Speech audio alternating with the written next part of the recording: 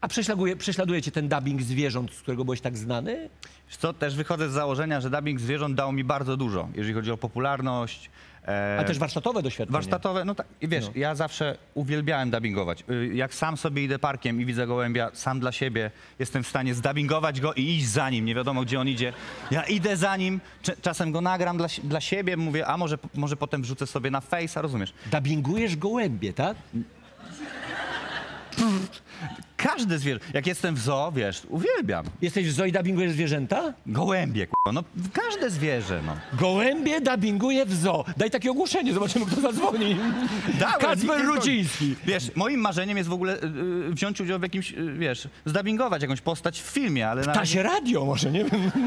Ale To jest film- też mój apel, ej, ludzie, nie, od dubbingów. A jakbym dzieci. poprosił swoich DJ-ów, żeby ruszali ustami, zabiłgowałbyś ich? Możemy to spróbować, prawda, że chcecie, kochani? Pomóżcie! Ja, ja, ja, ja. Dobrze. Zaczyna krótkie frazy. Kobieta witch zaczyna mówić. Uwaga, trzy, cztery.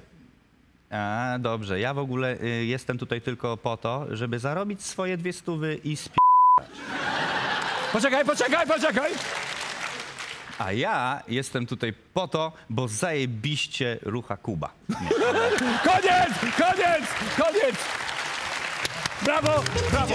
Idziemy do operatora. Thank you.